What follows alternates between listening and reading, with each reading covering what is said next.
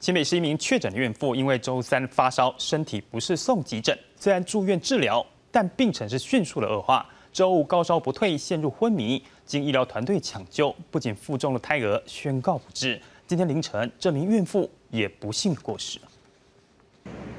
新北市一名确诊二十岁孕妇在四号周三发高烧送急诊，孕妇在治疗两天后失去意识，各科医师急救同时进行引产，但胎儿抢救无效。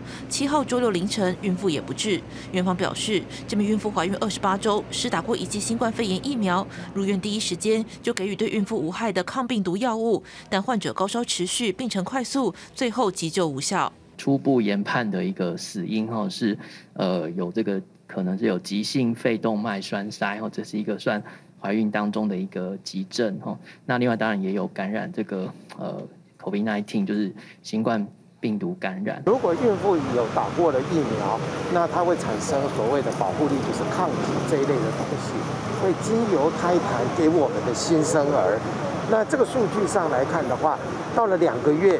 有一些还有九成，还高达这个九成的新生儿可能会因为妈妈打过疫苗而有抗体。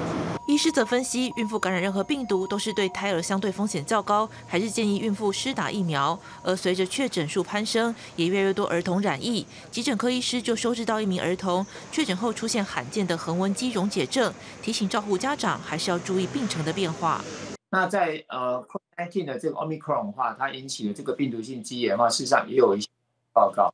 那小朋友的话，有时候他会在临床上出现一些像小腿疼痛啊啊，那个肢体无力，甚至会有一些棕色尿的一些出现这样子。对于这名儿童染疫后出现的罕见症状，指挥中心表示会持续监测。而医师提醒，完整施打疫苗者感染 Omicron 才有可能是相对轻症，但绝不能把它当成感冒来看待。记者徐林监台报道。